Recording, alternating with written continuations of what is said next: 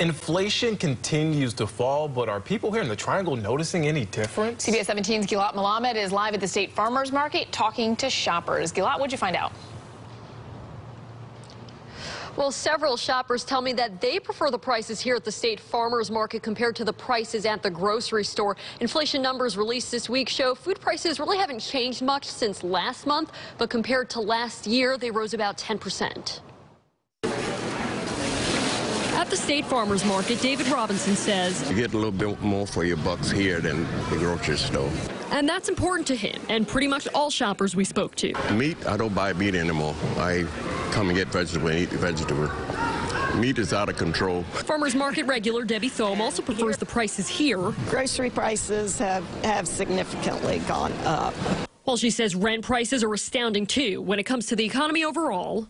I think things are, are stabilizing. The latest numbers from the Bureau of Labor Statistics show inflation fell for the sixth straight month. I hear about it going down, but I, don't, I haven't seen it. Helen Wise of Wise Farm says the price of fertilizer and even those plastic bags she packs your produce in are having an impact.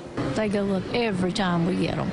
So we have to go up and um, so we can stay in business. Speaking of prices going up, we got two dozen jumbo. According to the Consumer Price Index, eggs cost 60% more than a year ago. With the price of eggs going up lately and everybody complaining and trying to find places to get a good price for eggs, and we thought, you know what, they're locally grown here and put some money back in the local economy. Few feel it more than the owner of Tapui Donuts. Alejandro Contreras says he buys at least 15 dozen eggs a week. He says three weeks ago he purchased 18 eggs for around $5 wholesale. Now it's 7 or $8. I'm paying more, but I'm not earning more money.